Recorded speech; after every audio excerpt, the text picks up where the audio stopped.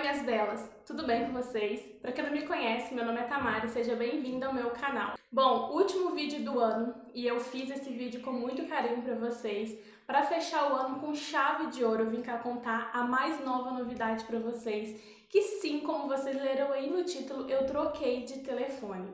Para quem me acompanha aqui desde o começo do canal, assim, desde bem tempinho já, sabe que eu gravo os meus vídeos aqui pro canal com telefone, eu não uso câmera, porque é uma escolha minha, tá? Eu não curto muito câmera por enquanto. Tenho vontade de comprar, mas por enquanto eu acho mais prático e fácil de mexer o celular. Eu usava o LG K10 eu não tô com ele aqui porque eu já passei ele pra frente, eu vendi ele pro meu irmão. Então vou deixar uma fotinha dele pra vocês no cantinho da tela pra vocês saberem qual que é o modelo que eu tô falando, tá? Então eu fiquei com esse telefone durante 3 anos.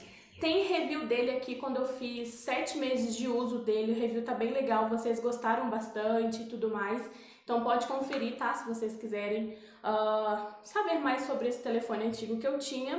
Bom, e por que, que eu quis trocar o telefone, gente? O LG, uh, ah, o telefone que eu tinha, LG K10, ele só tinha 16 GB de memória. Na época, quando lançaram ele, não tinha de mega maior, sabe? De memória maior. Então, eu acabei comprando de 16 GB.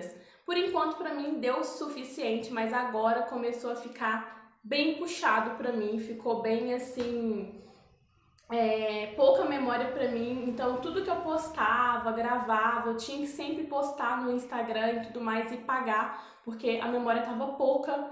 E um lado negativo do LG também, porque eu tinha muito aplicativo e os aplicativos não podia salvar no cartão de memória e só ficava salvo na memória do telefone. Então isso comia a memória do meu telefone, que já era pouquinha.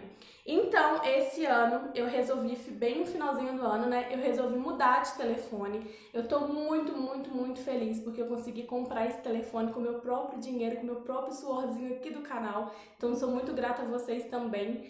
Então, o telefone que eu mudei, que eu resolvi trocar, foi o A50 da Samsung, gente. Ele tá com capinha, né? Porque agora é um xodó querido meu. Antes de comprar o A50, eu tava pensando em comprar, já tava quase praticamente planejado tudo certinho pegar o Redmi Note 8, que é aquele, é aquele telefone da China, sabe? Que você compra. Eu vou deixar uma fotinha dele também aí pra vocês verem. Ele era lindo, me apaixonei pela câmera dele tudo mais, memória. Só que, né, não era no plano, não tava nos planos de Deus eu ter esse telefone. Por um lado, eu achei até bom, porque é um telefone da China, né? Eu fiquei meio assim. Acabou que o meu marido me apresentou esse A50 ou o A30. Ele chonou no A30. E quando a gente foi na rua, acabou que eu me apaixonei pelo A50, que é praticamente quase a mesma diferença, é quase igual aí, só tem diferença acho que um pouco na memória uh, e também na câmera tá? Então eu acabei, gente, pegando o A50 da Samsung de 128 GB.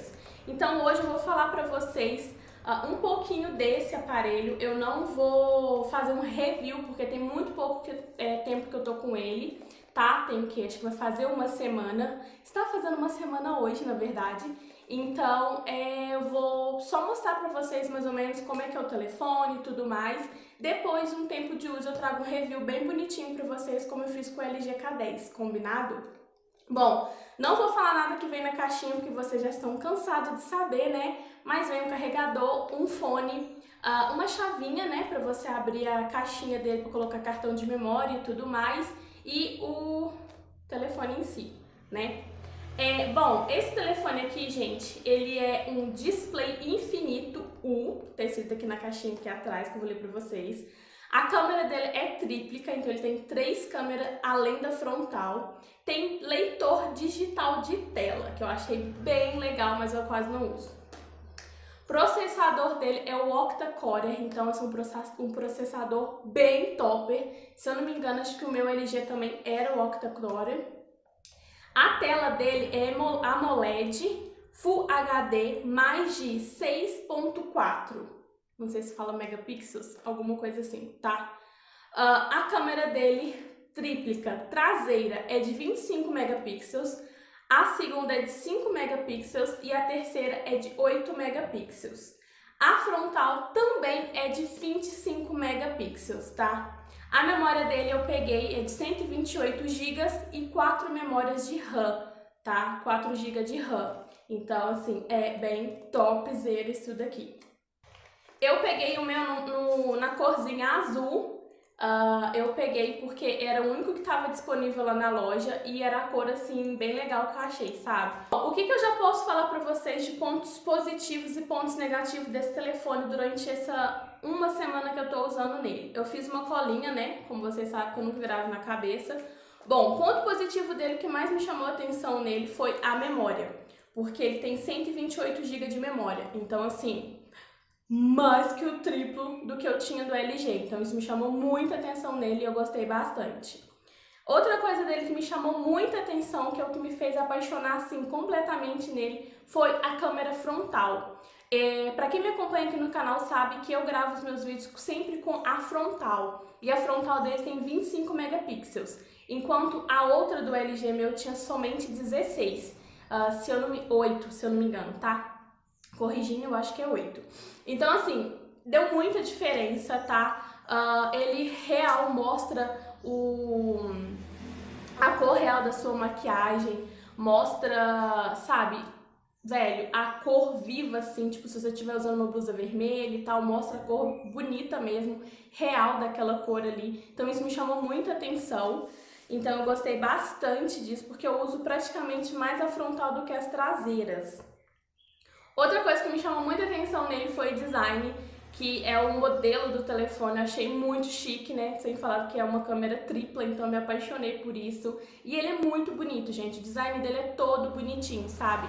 Atrás ele é todo de, ele é todo azul. Ele não é a traseira dele não é de vidro, é um plástico bem durinho, mas é bom você colocar uma capinha porque tem facilidade de arranhar tá? Então é bom. Eu já fiquei sabendo que existe película, película para você colocar atrás também para não arranhar o seu telefone. Eu ainda não coloquei, eu preferi colocar a capinha. Desde o dia que eu comprei eu tô usando a capinha. Então fica a dica para vocês aí também, tá bom? Outra coisa que me chamou muita atenção nele também foi a entrada de chip e de cartão de memória. Ele tem entrada de dois chips mais o cartão de memória. E tem telefone, né, que você tem que variar aí, ou é dois chips ou é um cartão de memória. Então no meu telefone, como eu uso um chip só, eu acabei colocando um cartão de memória, se eu não me engano, 16 GB, que tô usando nele também, para aumentar mais aí a sua memória do telefone. Outro ponto positivo dele que eu achei também é a bateria. Ele dura a bateria demais, segura a bateria demais. Então você consegue ficar praticamente o dia todo com ele sem descarregar e metade do outro dia ainda, sabe, conseguindo usar o seu celular com a bateria super de boa. Vai depender muito do que você tá mexendo. Já reparei que se eu estiver navegando no YouTube, vendo vídeo no YouTube, ele vai descarregar mais rápido. Porém, se você não ficar vendo o vídeo no YouTube, ele dura bem mais, sabe?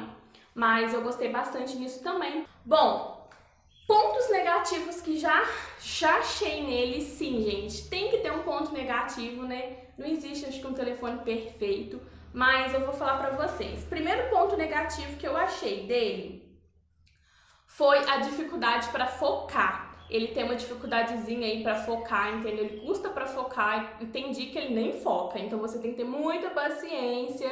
Uh, mas isso é uma coisa acho que da Samsung, não sei, porque o meu LG ele era ótimo para focar as coisas, mas enfim, né? Então isso vou ao longo do tempo tendo um pouco mais de paciência para ele poder focar o, certas coisas. Outro ponto negativo que mais me incomodou foi a saída de som dele, tá? Ele só tem uma saída de som e a saída dele é bem baixa, então é bem aqui embaixo. Então quando você estiver pegando o, seu celular, né, pegando o telefone, dependendo do jeito assim, do jeito que você tá pegando o telefone, você tampa a saída de som aqui. Então ele tem uma saída de som e ele embaixo. Por que, que não coloca a saída de som em cima, né? É bem mais fácil, mas tudo bem.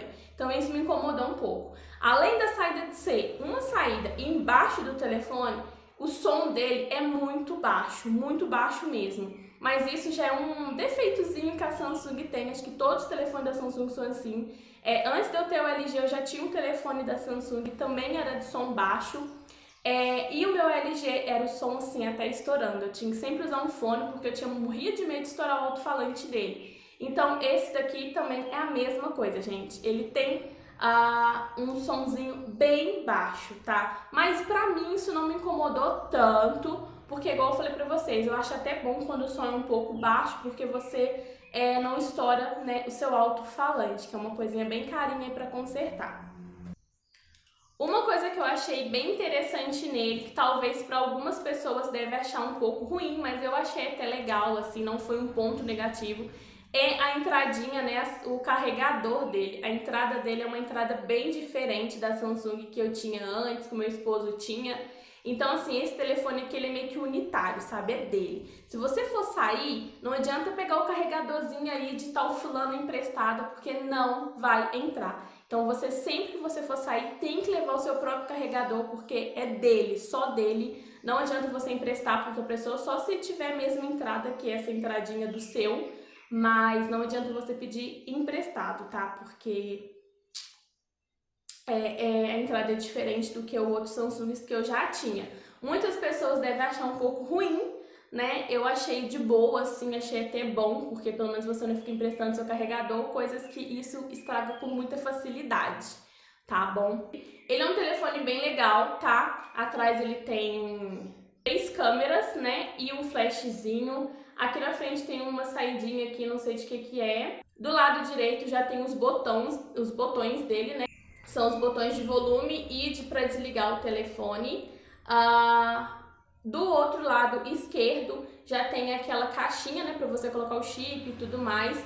Embaixo tem a entradinha de fone de ouvido do carregador e essa saidinha, né, de som dele, tá? Achei o design dele bem legal, a tela dele é meio que praticamente infinita, mas ao mesmo tempo ela não é 100% infinita, porque tem os botãozinhos embaixo, né, aqui igual eu tinha da LG, para você voltar, para você limpar os seus negócios tudo, enfim, então não é 100% infinita, mas você tem a opção de você retirar e deixar 100% a tela infinita, tá?